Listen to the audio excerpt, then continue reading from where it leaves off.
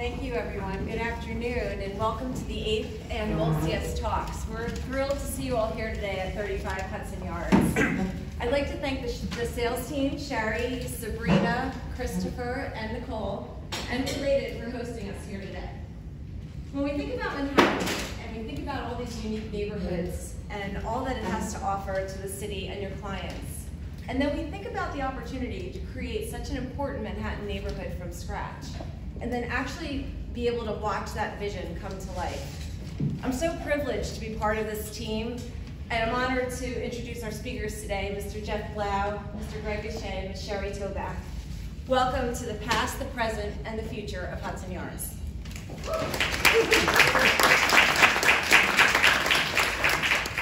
Thank you, Jody. I don't know Um, if that was the past, the present. and the future. Not sure how that works. Um, So I've, I've put together a number of questions um, to ask uh, uh, Jeff and Greg. What I'm going to ask you all to do is hold your questions to the end. We will allow a Q&A session for a few minutes at the end of this. Um, So first, a little shameless plug, which I was told I'm allowed to say. We just hosted the Duke and Duchess of Sussex here at Hudson Yards for the past few days. Um, I was told they absolutely loved 35 Hudson Yards, so if it's good enough for them, it's certainly good enough for all of your buyers. So make sure that you bring them in as soon as you can. Um, and without further ado, I'm going to start.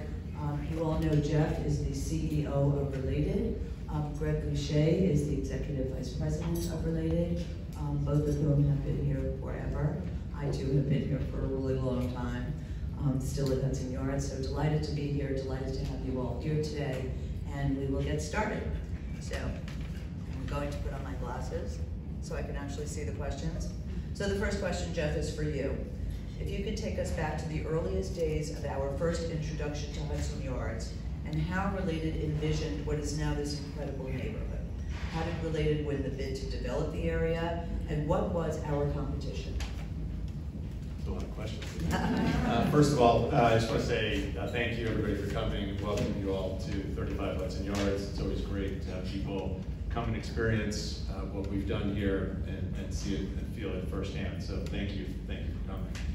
Um, So if I think back, uh, we're now 15 years ago, uh, we competed in the competition in an RFP uh, for the development rights of Hudson Yards. And, you know, if I think back to that era, um, you know, we were kind of about to enter into another financial crisis. And uh, we were bidding just as things were getting worse. And we were planning kind of what we would build here it was, if we were to be competitive and win. And uh, we were partners with News Corp, with Rupert Murdoch in our bid. And uh, similar to Time Warner Center, we felt that if we had teamed up with a, a big corporate partner, it would add uh, credibility to our bid, that it actually get done and happen. And so News Corp was our anchor. And as, as the bid went on and, and the economy got worse, um, we had made it through multiple rounds. And uh, we were at the final round of bidding, and I remember uh, we had an interview with the MTA on a Monday, and on a Sunday night, we got a call from uh, Rupert's team saying that they were out. And uh, they were supposed to come with us to this meeting on, on Monday morning. And, um, you know, we showed up and, and had to say, well, we're still very interested, but our anchor tenant that we've been touting for the last year is no longer. Um, and they politely said, you know, thank you, but no thank you. Um, and uh, I don't know if people in the room know, but we actually were not the designated developer originally. Uh, there was another, I'll say not to be named developer whose buildings are close to here, who was selected. And, um, and, and uh, we watched, I'd say, with, with envy uh, when that announcement was made. And uh, almost six, seven months went by and they were negotiating a contract and, and so on. And, and then uh, we kind of kept updating our work just for the slight chance that uh, we would have another opportunity. And then I got a call um, on, a, on a Friday afternoon. I remember it as clear as day. It was like five o'clock on a Friday from the head of the MTA. And he said, look, this other situation doesn't seem like it's gonna happen. And if you guys could get down here and he meant like right now. Um, and you know, stay through. Uh, I think we can get this done with you. And I remember, uh, so Steve Ross, our chairman, uh, was in China at the time. I remember calling him and saying, you know, what do you think about this? Um, as the world was was getting worse and worse, and and uh, he said, I'll be on the next flight back. And we, we went over to uh, the MTA's office and basically didn't leave for a week and effectively signed the contract that was, that was done. Um, and uh, made it a little bit better for us, I remember. But, um, you know, look, it's, it's, it, it uh, and then ultimately it was announced that, we, we won and we're the designated developer. And so I think back, um, you know, and, and that was like March of 2009. Wow. Um, and so if you think about March 2009, I think Lehman Brothers filed bankruptcy in September 2009. So, you know, it was it was very exciting to be the designated developer, and then we kind of said, you know, what did we just get ourselves into? but actually, in hindsight, it was probably the best thing that had ever happened to us at Hudson Yards because when we were originally designated and when the contract was was created, there were tons of time, you know, commitments, dates that we had to hit to open the first building and the second building. And the one thing that we got changed was that we would have time because we knew we were going into this recession. And so ultimately, we didn't have dates that we had to adhere to. And so we did go into you know a pretty bad recession, and we, as opposed to stopping, we actually used the time to rethink what Hudson Yards should be about and how to plan Hudson Yards and design Hudson Yards. And we took two plus years as we kind of made it through that, that recession um, doing just that. And I think the output of that product created a much better place than maybe we had even gone into the bid with. And so I think it turned out, I don't know, I think it turned out pretty good. Um, and you know, if you ask about the vision, you know, it's interesting. Obviously, this was a pre-COVID vision, right? Um, but the vision actually played right into what COVID turned everybody's attention to, which was creating this incredible live workplace neighborhood that had the latest in technology and sustainability in the buildings um, and, and had safety, security, and cleanliness at top of mind. And then, so you think through what happened during COVID and what people wanted, people that committed to the city and, and you know, supported New York um, as we did, what they want. They wanted, um, you know, if they were going to make this commitment to New York, uh, they wanted to feel safe, they wanted to feel secure, and they wanted to know their buildings were clean the air that they breathe every day was clean. And um, you know, their commute was maybe across the street. Um, and so all that turned out to really be something that was so impactful after. And I think, you know, even today, you know, a couple of years post, if you think through, um, you know, what's happening around the world and how kind of we wake up every day and think about, uh, you know, some of the horrific things that we've seen, you know, having the ability to have safety, security, cleanliness only becomes more and more important. Um, and so um, it was a pre-COVID vision, but it was a vision that I think is, is today more relevant than ever before. And you know, if you look at, uh, I know we're here to talk about residential, but as a as a confirmation of what we're doing, if you look at the the office buildings and the commercial tenants that we attracted here, right? we have today. Um, I remember when we first started pitching office space at Hudson Yards, I would get, well, where, where is this Hudson Yards and why would I ever move my company there? Um, and you know, today, you know, there's not a tenant in the market that doesn't come to Hudson Yards, at least to check it out. And we probably capture a big percentage of it, except that we don't have any space left. Today, as opposed to where is Hudson Yards and why would I ever move there, we achieve by far the highest rents in New York City, unquestionable, and we have no space available. Now, those are two good data points, but my favorite, and I think the most important data point is our percentage of people across the entire campus here, and we have every private equity, hedge fund, financial service tenant, technology tenant here. our, our people in seats every day is over eighty percent. Eighty percent. The rest of New York City is somewhere between fifty-five and sixty, depending who you're asking. And so what's happened is people want to come here. People want, if you talk to the CEO, say, why is it that you're eighty percent? They'll say, because people love coming to the office. It's not that all the people here, you know, the CEO said, you have to come back.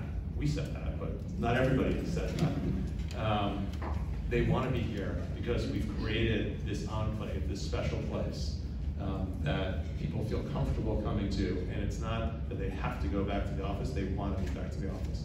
And I think that's really all plays to the residential atmosphere that we've created as well. This is an enclave in a crazy world in New York City where people can feel safe, secure, and have every amenity, every luxury, every bit of customer service that they want. And so that's really, that was the vision of Hudson Yards, and you know, I think we've accomplished it. Thank you. Actually, I think you answered most of my questions. I gotta go. Um, So the next question is for Greg. Greg, can you tell us a bit about the incredible feat of engineering that went into building a platform over the existing rail yards? Sure. Um, first of all, as you can see out the window, I mean, those trains are under us right now as well. So you probably all know that, but some people sort of forget that because you walk around the plaza, you forget that you're under, you're over a train tracks. And so when we came here, there was that was here, and we had to build over it, obviously. And so the first part is a design challenge, right? Design challenge is that that, that platform is actually the foundation for these super tall buildings, right? And so you have to design the buildings in a platform together, which means you need to know basically what you're building on this entire like ci- mini, city uh, first, right? And so that was the first challenge. And then this is an active rail yard, right? So you couldn't just clear it off and then go, you know, build it. We had to take down three at a time. They let us, you know, MTA, Amtrak, is a whole combination of people to negotiate with. Take out three tracks at a time to then drive piles, right? And do that. And this is the kind of project which you can imagine this, all kinds of things can go wrong, right? This could, this is like delay potential, you know, huge. But actually, it was essentially right on schedule, as far as I remember, which I always thought was really shocking in the tribute to our construction design teams. Um, so we did this three at a time, drilled piles down there, built the platform, and then built all the buildings on top. So, but actually, before we did that, we were about to start that. The Amtrak said, "Wait a second, um, we want to build a gateway tunnel under that to go to New Jersey at some point. So can you do that first?"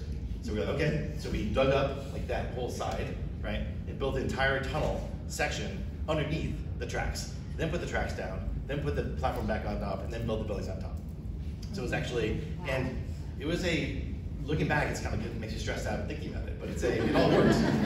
And so, um, and that's, that piece is in. So that piece, the gateway tunnel is in under us right now, ready to be connected to the rest. Um, the more fun things is that now we want lots of plantings, grass, and we want to get, you know, a lot of plants in here. And guess what? Trains are hot. And so our engineer said, well, we're gonna cook all the plants. Nothing will grow here. So we basically had to refrigerate the entire platform to allow, you know, so otherwise the heat would be too much coming up from the trains. In, in So- a very sustainable way. Yeah, I'm sorry, yes. Hundred percent, I mean, and, you know, just in, not a platform, but there's so many parts of this, when you have a, you can build a whole little mini neighborhood, you know, from scratch, and you control the whole thing essentially. You do amazing things like our cogen plant, which, you know, provides, it's a, it's a, uh, cogeneration plant providing electricity and our own heat, um, for our campus and contributes to the, to the grid as well. So that was a part of our, our sort of many sort of green, sustainable aspects of the project. Thank you so much, that's amazing. Next question for Jeff. Jeff, I actually remember the earliest days of meeting after meetings with the architects of thirty-five and fifteen. How did you first conceive of building both office towers, residential buildings, retail space, and cultural space? And also, on top of that, how did the introduction of the number seven train change the course of the development? So with, with regard to the seven, um, that was actually part of the, the RFP and a commitment that the MT made, MTA made early on. And so we knew that all our planning was based on the premise that the, that the seven train would, would be done on time, um, which was a, a pretty big bet on government. Um, Because not only did we insist that that train be uh, there when we finished. Our tenants insisted that they weren't gonna pay rent if the train wasn't there. And so, you know, we had a lot of pressure uh, to, to make that happen. And remarkably, it was really the only part of the MTA system that was delivered on time, on budget. So uh, we may have had a hand in that. Um, but it was, so, so that, that was part of the premise. It really connected the far west side to the rest of New York City, and it became a huge selling point, certainly um, um, for our commercial tenants.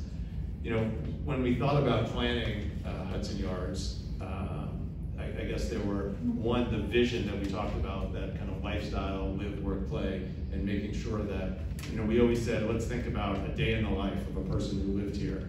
Um, so you could go to Equinox in the morning and work out, you could have breakfast at Electric Lemon, um, you can go to your office, you can come back, take a nap, you know, do whatever you want, um, you know, watch games in, in the amenity rooms, uh, and so on. And so having all those amenities go to the, go to the shed, having all those amenities as part of kind of life at Hudson Yards was important to the planning and why you had all these different pieces. The other thing, just from a practical perspective, is I remember one of the, many of the competing bids um, were all office or all residential, which I, I ultimately thought could never work because you can't build, you know, eight office buildings at the same time or eight residential buildings at the same time because the market can't absorb it. And so what would happen is you would wind up with a phased development with construction that went on for decades. And we felt that at the end of the day, the people, no one wants to move into a construction site. I mean, certainly uh, you can move in if you thought it was over in three months, but you're not going to move in if you think it's over in 10 years. And so we, we had to come up with a plan where buildings were built at the same time that weren't competing with each other. So in, in, in addition to being additive to kind of the lifestyle that we were looking to create, we knew we could actually build this all at once. And that's effectively what happened. Nobody really moved into a construction site. Um, and so that was, that was part of the vision and, and, and the plan. Great, thank you. Um, Next, so uh, this also, Jeff, is for you, and this is a question that I answer often, but I'd love to hear it from your, from your lips. Um, There are a limited number of super luxury buildings happening right now in New York, super tall luxury towers. What would you say um, separates 15 and 35 Hudson Yards from the rest of the pack? Look, there's a lot of good buildings in New York, none quite as good as ours, but there are a lot of good buildings in New York. Um, you know, I think what we try to do is to focus on creating this incredible experience within the buildings. And so it goes from all aspects. There's no one single part. Um, but certainly part of it, and a big part of it is, is the location and everything we just talked about. That's not even the apartment, right? It's the everything around it. It's the views, it's the services, it's the amenities.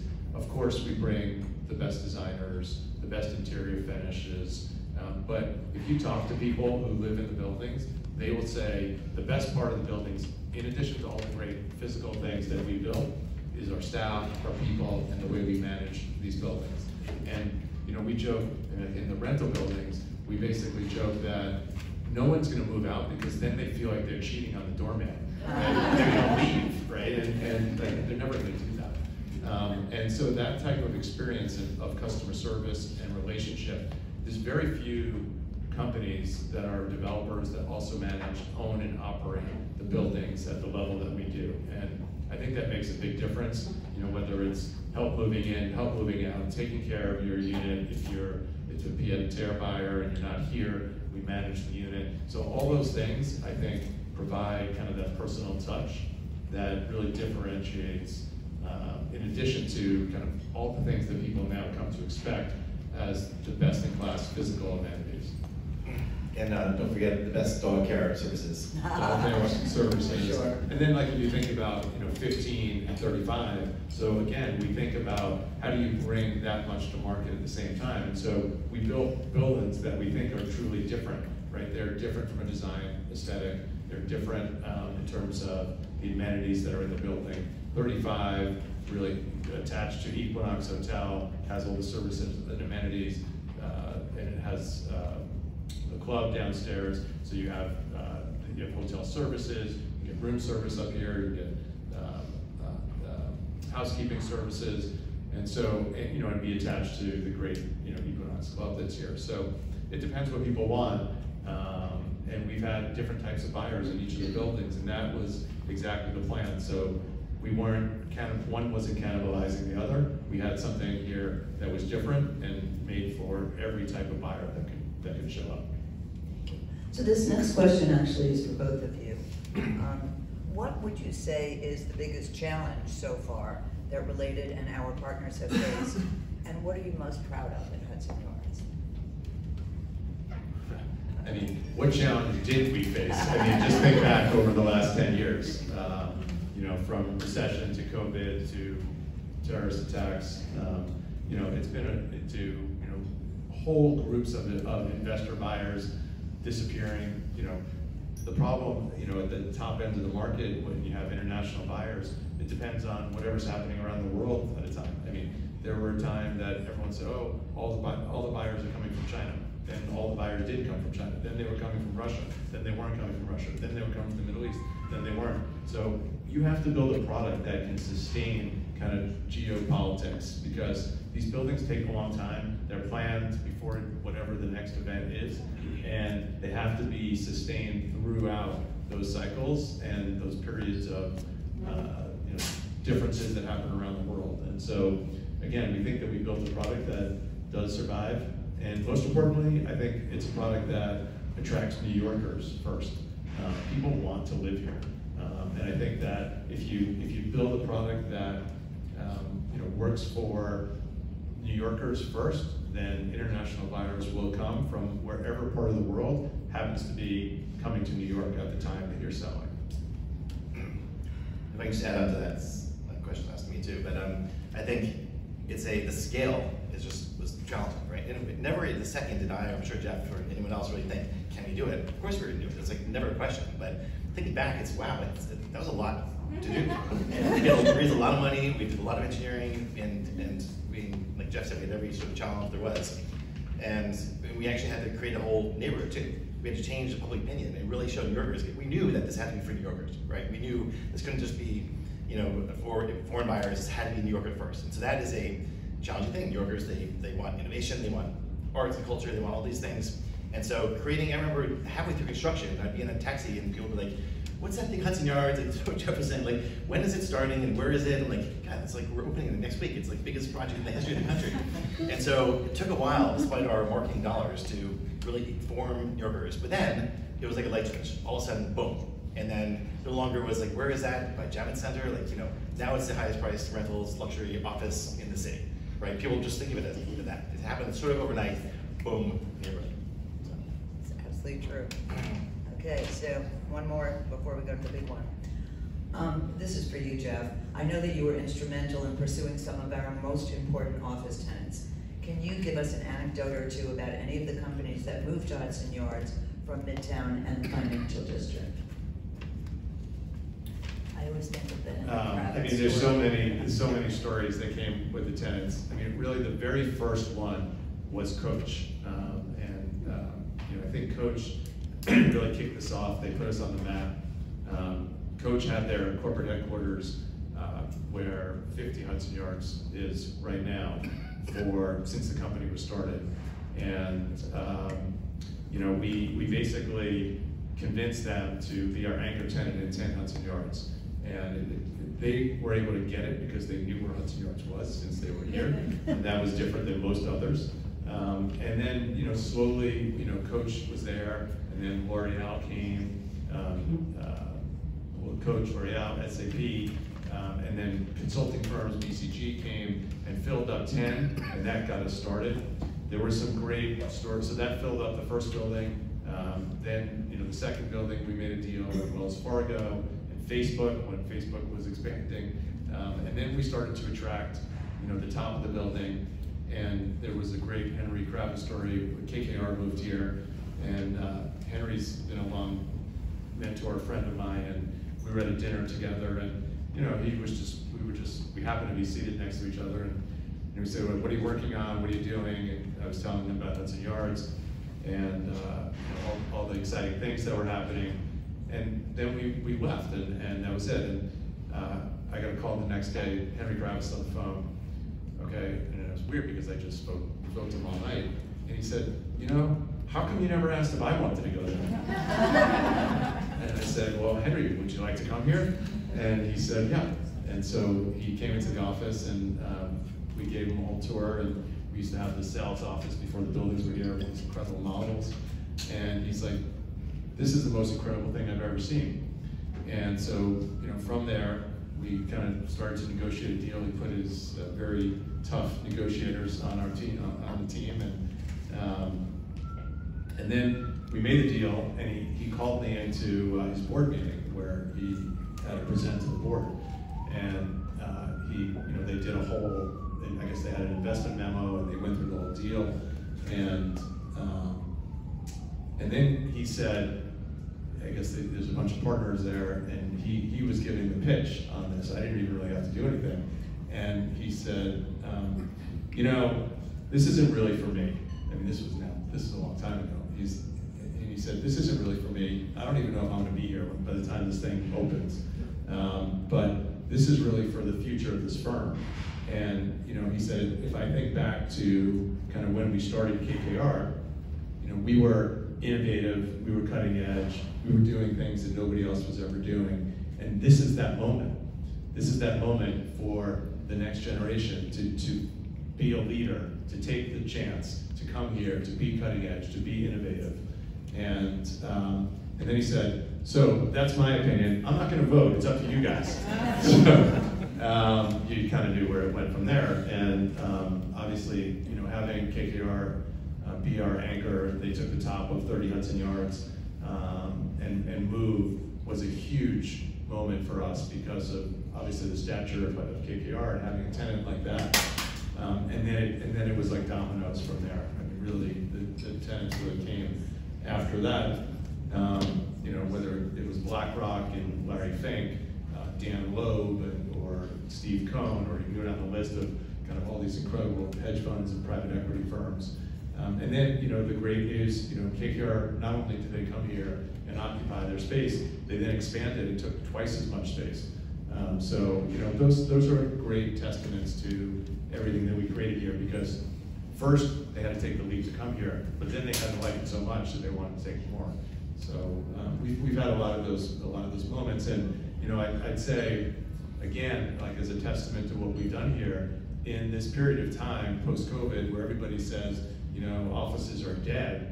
but we have leased more space in the last 12 months than almost any other time in our history, right? Compared to the rest of New York City that is up, down, down, down in terms of leasing, occupancy, and trends. Uh-huh. And so what it basically reinforces, if you create this incredible product, that people want to be here. And that data, that one piece of data about people coming back to the office is the most powerful piece of data that we have. Then people will pay. People will pay a premium. And it's the same. It's the same with the residences, right? People will pay a premium for quality, luxury, services, amenities, safety, and security. And that's what Hudson Yards is all about. And cleanliness too. Very clean. Um, so, um, I'm going to approach the elephant in the room here. So, um, we've all heard the rumors, we've all read the stories. Can you give us some insight, Jeff, into what will be the Western Yards? Well, you're looking at it. Um, so, I- again, it's, it's no secret, um, you know, we've been planning the Western Yards since the day we started the Eastern Yards. Um, and it's changed no fewer than probably twenty times since the beginning. Um, and, you know, as we got through the, we finished up the Eastern Rail Yards and, and started to focus our attention there, you know, we went, we ran into some issues of interest rates and recessions and all that. Um, and we thought about what actually could make sense here and what could we do to actually elevate everything that we've done at Hudson Yards. And while we were having those thoughts, the state announced that they were going to issue three gaming licenses uh, for downstate New York.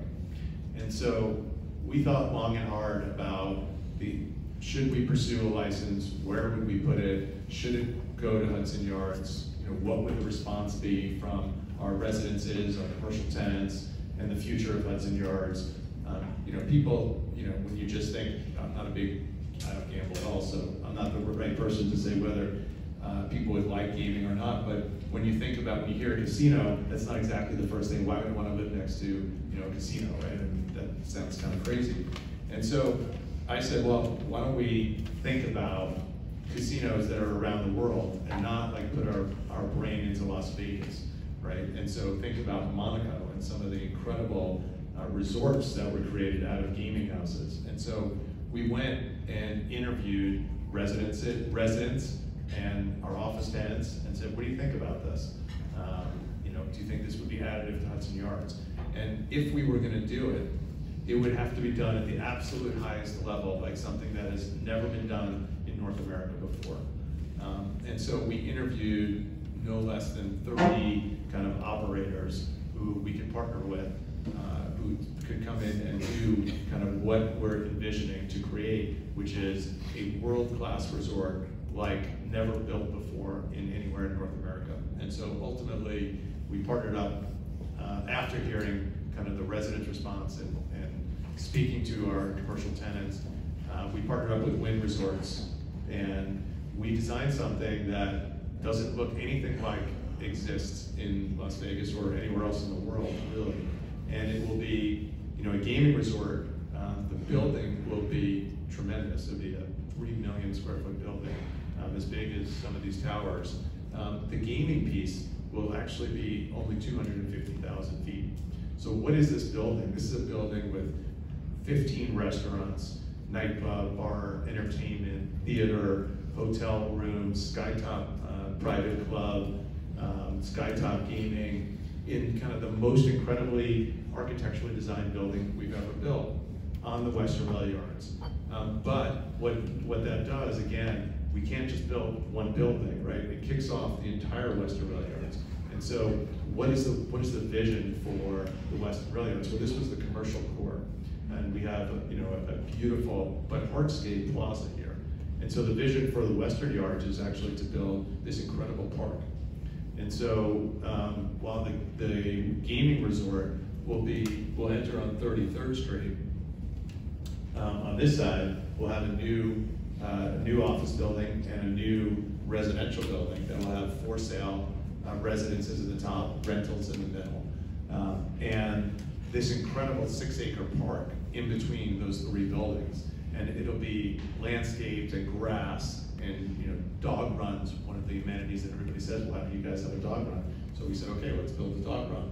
And playgrounds and all sorts of things that are just not, that doesn't, it doesn't exist on the Eastern Rail Yards. It'll tie into the High Line, so you'll be able to access through the gardens and grass and this incredible landscaping, direct onto the High Line. There'll be a path uh, down to the other side of the High Line and across to Hudson River Park. And so we really do think we're going to do something. There's no signage on the outside of the building. The same safety, security, cleanliness measures that exist here today will obviously apply there. I don't know if anyone's ever been to a casino, but there's more security in a casino per person than anywhere else. And so when you think about safety and security, this will be the safest place in New York City. It already is, but bringing that here and bringing kind of that entertainment and nightlife and restaurants, I think will really be additive. And so we're super excited. Um, we, uh, our bids are due in January-ish, we think, um, and it's probably a year or so um, until selection is made, and then probably three plus years, three to four years from there. So it's probably five years away um, from, from opening, but it, it's something that will change New York, um, and I think it's something that will be incredibly exciting for Hudson Yards. And profitable for providers as well. So we ran a little bit over. I'm going to open the room for questions for about five minutes, and then we have to let these gentlemen go. So if anybody has a question, please um, let us know. Yes. Yeah, question to Jeff. Um, how do you define the Hudson Yards position in the United States or in the world? Has anything changed from maybe 14 years ago?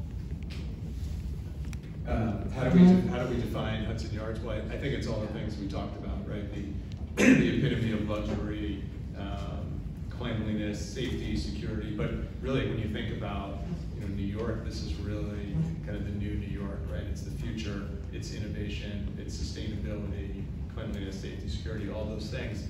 Um, you know, I think, uh, as I said, we, we had this vision pre-COVID, pre all these events that have happened in the world. And I think, you know, today, um, you know, it's, it, it is rang true. And so uh, I think it's, it is more relevant now in a post-COVID world than, it, than it's ever been. Thank you. Go ahead. I have a couple of questions, actually. One was regarding the, um, I think you have an anchor tenant in the uh, shopping area, uh, Neiman Marcus that, that left. That was pretty sad. And then also, are you going to, are any of these buildings going to block some of the views of the current? Um, so on, on Neiman Marcus, there was an announcement in the paper that we cannot confirm or deny. Um, so I'll just, just uh, direct you to the newspaper. Um, but there will be some exciting news coming out of uh, the retail, the top of the retail space, the former Neiman space.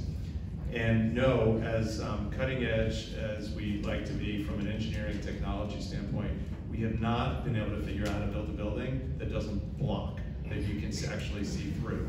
Um, and so, um, as was always the, the plan here, um, there will be buildings here, and uh, they will block some views. Um, you know, we actually redesigned, part of this redesign uh, for the Western Rail Yards, we had six buildings originally approved there, um, and now we've moved that to three buildings. And so we've decreased kind of the blockage and opened up that park, that six acre park, um, opened up the view corridors much greater than what was originally anticipated. So we do very much keep in mind when we locate buildings, how to minimize the impact, um, but buildings, you know, buildings are not transparent. But to, or to say a different way, I mean, there will be buildings in the view, right? They're, they're not blocked, there's not like a brick wall in front of your window. But like, there'll be beautiful buildings that are the best architecture in the world that, that you will see? Right, We've and done- actually, the distances are greater than any other street, you know, system in the city between buildings here. So where you would have, you know, a, a building on one side of the street and, and then on- across the street, that did, those distances are much, much wider with much more open space around. Um, so as Greg said, you're not, well, there's no blocked view, right? It's part of the view. And we've done virtual reality studies actually, where you put on the headset and we, we put them in, and it's like a building in view. It's not like in your face, which you can get from a 2D user rendering, trying to render a situation, but in the real world, it actually is no problem. And is this just a lottery thing that we've, or is there, uh, is it, is it definite that the uh, casinos will come in? Is it definite now the casinos coming in, or because I heard there was a lottery or something? They're trying to pick different. It's definite that there will be three licenses issued. They have not, they have not selected where those licenses will be granted yet. Okay, we have time for one more. I just want to ask you, what are you doing in terms of accommodations for the future of EV? The future of EV? Yep. So, so, uh, I mean, we are, I can tell you a whole long story about our uh, sustainability efforts, but, um, we are here kind of on the cutting edge of sustainability in terms of the buildings, in terms of bringing renewable energy into the buildings. All the buildings on the Western Rail Yards will be all electric. So those will be the first all-electric buildings in New York City. They will all have EV charging, and we actually have it already today. Greg spent a lot of time on this. Um, so all the parking facilities here already have EV charging, but they certainly will be part of the next phases as well. I think that's it. Anybody else? Okay, so I want to thank both of you very much for this. Thank you. We will